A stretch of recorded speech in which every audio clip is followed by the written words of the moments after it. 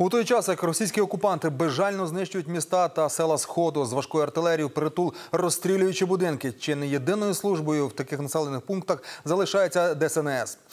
Рятувальники до останнього не залишають міста та, ризикуючи власним життям, роблять усе можливе, аби допомога допомогти людям, котрі вирішили не евакуйовуватися. Про будні рятувальників героїв сюжет Владислава Круглова. З самого ранку ми разом з рятувальниками їдемо у селище Нью-Йорк на Донеччині. Його рашисти обстрілюють з усього наявного озброєння, рівняючи з землею. У центрі села нас вже чекають люди, які не витримали життя під постійним вогнем. У простріляній кареті швидкої, якою рятувальники вивозять людей, спілкуємося з родиною, яка намагається врятуватися, покинувши все Очень тяжело, очень тяжело. Уже Выхода нету. Дорога пролягає зруйнованими вулицями. У Нью-Йорку не залишилося дворів, в які б не прилетіли російські снаряди. Вы знаете, мне же кажется, что просто по мирным людям стреляют. Ну где, ну где там, вот, ну где в садике, вот садик разбили, больницу, ну, ну где там? Школу. Школу разбили, там, где мы учились еще это.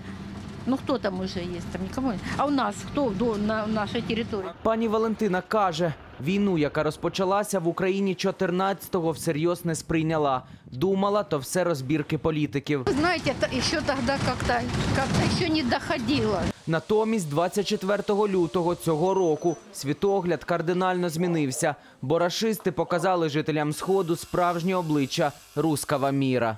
Нас в школе учили, что Россия и Украина – это две родные сестры. Так нас учили. Но я училась, когда еще в школе. А чтобы Россия напала, это вообще, это, это уму непостижимо. На евакуаційний автобус у Торецьку рятувальники та волонтери привозять людей з усіх навколишніх сіл щодня.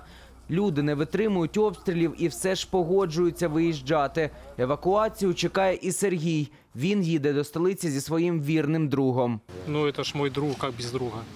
Это ж мой друг, я без друга не могу уехать.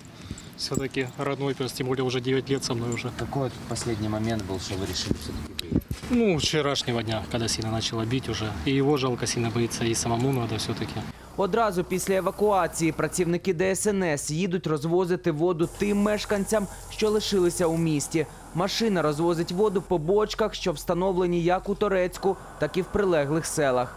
Каждый день, каждую смену вот это выезжаем, набираем воду. А в місті води немає?